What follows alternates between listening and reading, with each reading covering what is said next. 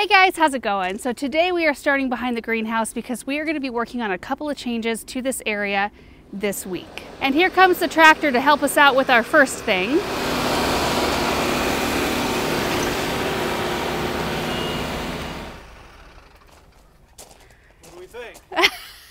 We'll see if this is going to work. So the first thing we're going to do, and this is why we need the tractor, because hopefully it's going to work, we are going to attempt to pick up this entire raised bed with the espaliered pear and we're going to move it. We're going to be taking the, the pear out and planting it, but we don't have an auger here until next week. And we want to use the auger, right? I'm guessing. For the, To dig a hole to plant that? I don't know. I, I'm not sure. It might be easier to do by by hand. I'm not sure. Possibly. I don't know. Either way, okay, so I'm going to just kind of turn around here and show you this space. Paul and Bethany have been hard at it clearing out like the back of the barn where we had a big pile of pots. There was a big pile of plants back here. Um, they just got that all cleared out and Chad is going to be here later this week just to kind of smooth out this area and bring fresh gravel in and it will go out to about where the grass starts because that is our well right there and we're going to use this area eventually uh, to park gators up against the back of the barn. We're going to have an overhang built off the back. We're not even sure how that's going to look at this point, but that's the intention. We just want to kind of clean it up and have it be nice and tidy. In the process, we'd like to get the pear transplanted because we've been meaning to do that the last season or two. And then we're going to move the raised beds completely out because we're going to plant more North Pole arborvitaes to stop right about where the neighbor's hedge starts. And those are also North Poles, so it'll be perfect. And that way they can have a little more privacy back here. They've got some raised beds and such, um, and it'll create a nice green screen right here. There's also two other things we're gonna be working on back here. The first thing, these trees are coming out. Uh, these are old elm trees and they're not the nice kind of elms. They're the type that fall apart. They're full of borer damage and they've already been falling apart. I mean, if we get up close, you can see where big branches have had to be removed and you can see one of the trunks like the entire trunks had to be removed off of that one. They're just not a nice tree. We had three of them on our original property when we bought it and we have had all three of those since removed. And when we bought this property our neighbors right uh, right there uh, that join this property here, they asked us, are you going to leave those trees in or are you going to remove them? Because if you want to remove them, that would be great. Uh, so they're thrilled that they're coming out. And the plan is, is to extend the berm just a little bit and build it up. So this right here, the plan is to extend it not very much further than it is now, but to just add more to it, like bulk it up a bit. Chad said he's going to use the rocks as a base over here. Oh, nice. So the, those will get used, and then probably the same over there. Those that we're going to remove that berm. Yeah, that I don't berm know will if you go can away. see that. Mm-hmm. So maybe we'll use the rocks and then the dirt to pile over here. But yeah, we'll make it bigger and build it up a bit. And you're thinking a lane back here though Yeah. too, like through here. Yeah. So yeah, the berm won't come out much further than like where it bumps out for the trees because the lane will be in between that and where our well is. That way we can start planting up the berm and we really want to focus our energy on that, um, especially and create a beautiful backdrop both for our property and for our neighbor's property because eventually I would like to remove uh, the high tunnel from up front and put it back here somewhere, but not until we have a nice screen. Uh, and it won't be like super close to the fence either. It'll be out in the property, but you'll still be able to see it. So I, I think putting some pretty things out and let, letting them grow up and fill in a little bit would be nice. I'm walking toward the last thing because when Natural Tree is here, that's who's gonna come and take care of the trees. When they're here, they're gonna also help us get this stump out. So we're walking over to the opposite side of this property where that chicken coop was and Paul and Bethany took that down. Took them like half a day to get, to get the whole structure and the whole area cleared out, all except for this stump, which there, you know, was a tree here at one point. I thought it would be awesome to cut this stump out and use it around our pond. So Natural Tree is going to come in and hopefully be able to help us get that out in a nice, nicer way than I could attempt to do it. There's a pole here too. Interesting. I guess I've never really noticed that but the stump's cool. And there's already a few stumps around the pond, so that would be kind of a natural to fit that in and be able to reuse it. I have no idea if this is going to work or not. It might, and which would be awesome. well, I don't know if the tractor has enough power to lift it up, and Uh-huh. I don't know if the wood. Would do you want the wood to? I mean, like if I crack the wood, is that okay? Sure. Okay. I mean, whatever is the easiest way to get that out of the Yeah. here would be the best. okay. Like the least messy way. Yeah, the least messy way. So we're gonna attempt this and we're going to move it close to, and I'll show you where I intend on planting it. So we're gonna try to move it over into the general location.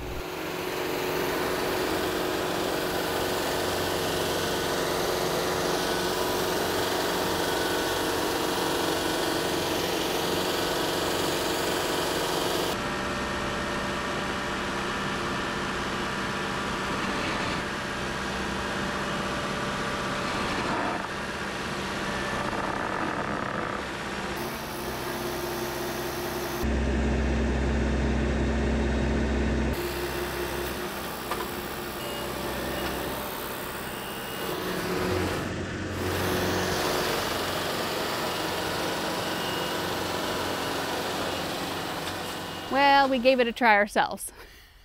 Sometimes things are just a little bit too much. That tractor has been so, so handy, but it is slacking in a few areas, like lifting, lifting capacity And auging. and auging. Yeah. Augering. Uh, augering, is that right? I, probably. Well, in the process, nothing was broken. I forgot I had run a piece of rebar through the corners of all of these. These uh, raised beds originally came from Gardener Supply, and they're cedar boards. They've lasted beautifully. Um, they have these little corner connector things that you just slide the boards right into, so it's super easy to assemble them. And I would like to be able to reuse them. You know, it would be really nice. So Anyway, we'll just have to wait for Chad then to get this out of here. It's going to be a few days though until Chad is here, so we'll need to abandon this project for now. Tree will be fine. I will run out though and show you where I intend on planting it. And then the trees. We're going to tackle the trees. I say we like I'm going to be involved. I will be involved by watching. Okay, so we're right here on the east side of the orchard, and we've got this part of the fence, which is six feet tall. It's blocking off, you know, tractor implements and equipment, things like that. And I thought it would be really pretty to center that espalier right here and just enjoy that interest. I think it would be really nice right there. I think it would do well and it wouldn't get so wide that we, you know, wouldn't be able to use the lane or anything like that. It's kind of the perfect scenario. Then we've got a sensation honeysuckle right here, climbing rows down the way. We'll probably fill up with other vines as we go along. I'm really looking forward to it and that's where I had intended on putting it last year and it just never happened. I wanted to do it before it broke dormancy last year and then it just got too late in the season and then it was blooming all of a sudden like things do and I just thought no, I just need to leave it right where it's at. So I think this is going to be a better home for it. Okay, back to those elm trees. Oh boy. Thread the needle. Here comes natural tree. The whole crew just showed up and they'll have these trees down within, what do you think, Aaron, 30 minutes? Yeah, Yeah, they'll have them down super fast.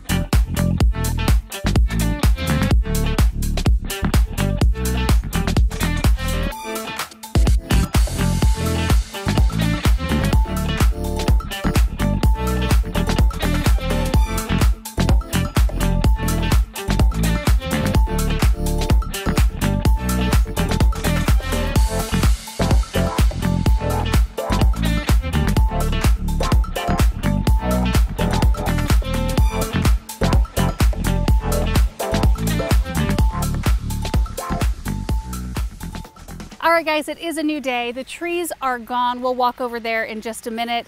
Uh, but Aaron is heading over here to the big stump, which they were able to cut off. You can see it right behind me. And they ground out the area right below it. So that's where it was. Isn't that wild? And here's the nice stump. I'm so excited about this. And I hope it's easy to move. I've got a spot in mind by the pond. Boy, I don't know what side I like better.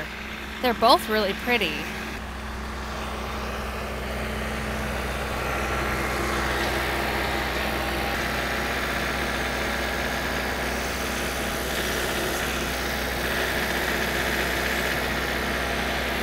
Oh, look at that. You me to push it in?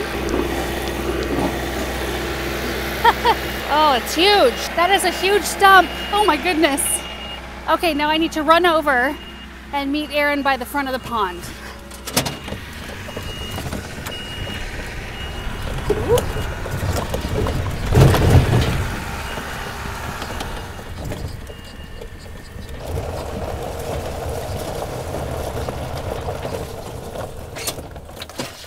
All right, so here we are. We're by the east walkway that's going away from the pond, and I always felt like, you know, there's a nice boulder here, and there's so much going on around the pond that I wanted to kind of bring some of that interest, either the stump or boulders, to this space. So I'm thinking Aaron might be able to sneak through this area with the tractor, and maybe we can tuck that stump in, like right in this space right in here, or maybe even scoot it back. I don't know how hard it will be. We'll have to do it by hand if we go back there.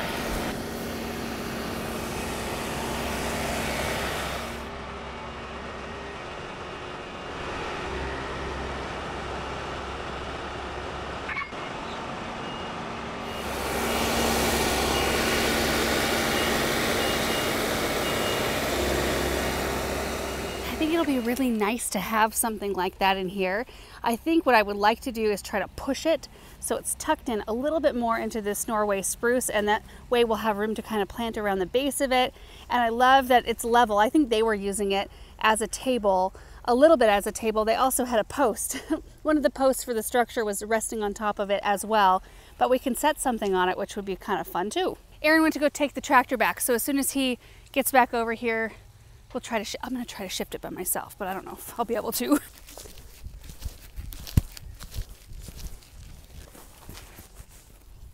Oh, I can't even budge this thing. Dang. Oh, that might be good. Uh, that is actually wonderful. And if we can just tip up the backside and level it up a bit. Pretty good. Yeah, it does. That looks perfect right there. Just kind of nested in, and it will look more nested in once we get some more things planted around it. But I just like having something large and kind of more hardscape right here. Uh, and then we'll probably add in a couple of boulders in this area as well, just to kind of draw some of that interest down this way. Yeah, that is so pretty. And it's heavy. How much do you think that weighs? Any guesses? It didn't feel like it was very heavy. I mean, what do you think? Maybe like 300 pounds?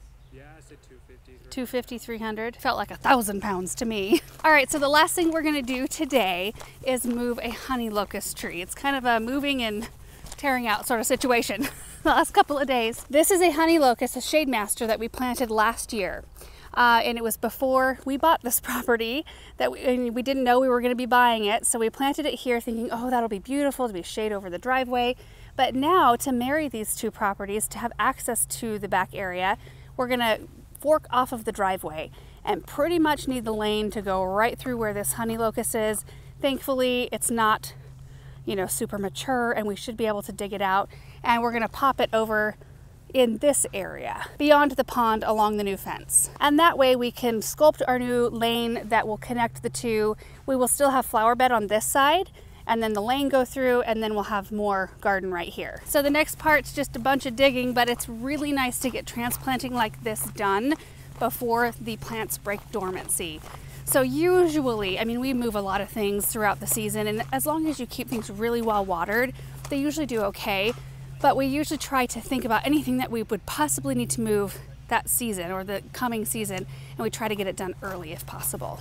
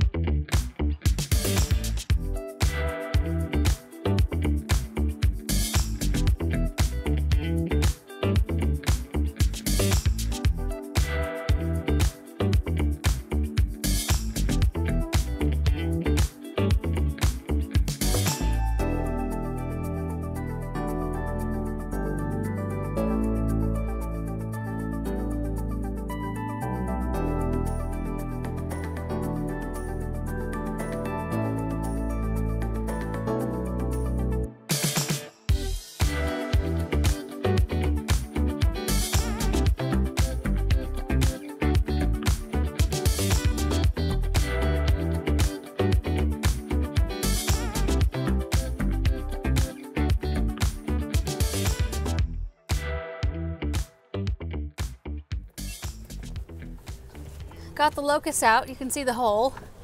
And now we're heading back to where we're gonna plant it. Okay, so right along this fence line last fall, or was it winter already when the evergreen went in and things were moved around? Wasn't that like beginning of January?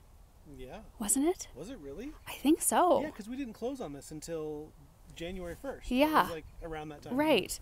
So, you know, we put the blue spruce in and then we had the other two trees moved. So there's a heritage birch clump and there's a purple prince crabapple right here and we intend on doing this a lot like we've started over there it's just going to be a lot of evergreen and different deciduous just all mixed together so i think we're going to put this one because it gets quite large i think they get what like 35 to 40 feet tall and wide so we are going to put it right here Here? i think so Okay.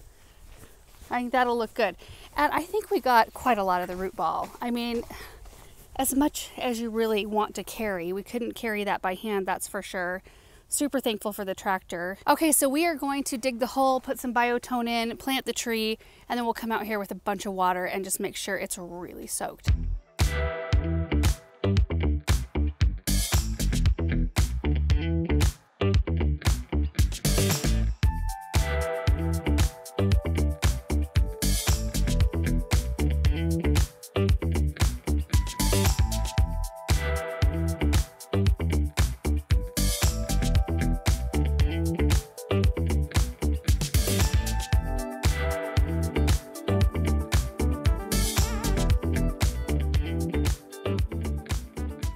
And there we have it, all done. I love it out here actually. I think it's gonna be just perfect.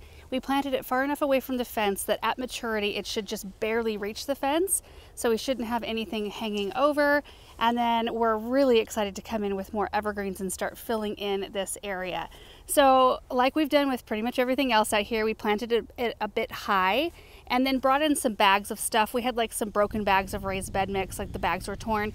Uh, so we put that around the base and then we do plan on coming in and mulching this whole area. So eventually it'll seem like it's just right at soil level because the mulch will be brought up to about that height. But I think we got plenty of the root ball, enough for it to do well. I'm hopeful, at least. Let's take a look at it from the other side. Hopefully we'll still be able to see it in line with everything else. oh, lost my buckets. Oh, I love the look. So we've got the blue spruce, the birch, the crabapple, which will have red leaves, and then the shade master just beyond that. Hopefully you can kind of see them all lined up. So once we add a few more evergreens, this area is gonna look done. I love it. And now this spot is free and clear. Uh, Chad is supposed to be here actually tomorrow or the next day, and we're gonna have the gravel put in after this is all kind of smoothed out, and the gravel also put in right behind the barn. Uh, so I don't know, I feel like it's looking really good.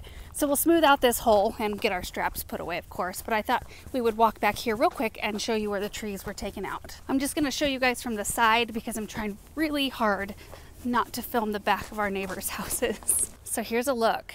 You can see this space right here where we, where we started out this whole project.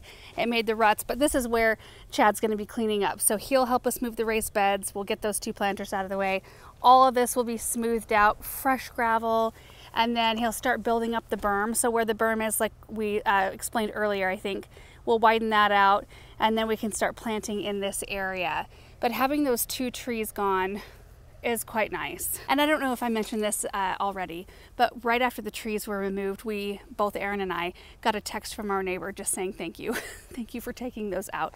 So, you know, not only were we getting rid of two potentially hazardous uh, and trashy trees in that they just you know, limbs and seeds everywhere, but it also benefited our neighbor, which is great. It doesn't it makes you feel like not quite as bad for taking them out. And we're going back in with way more than just two trees, so we will more than replace what was there. So anyway, guys, that is it for this project. I feel like it was kind of all over the place. That always happens when a project spans from one day to the next, but lots of progress. Trees coming out, the stump being moved and placed, the other tree being dug up, all stuff that was kind of necessary to get done in order to move forward. So thank you guys so much for watching this video. Really appreciate it, and we will see you in the next one.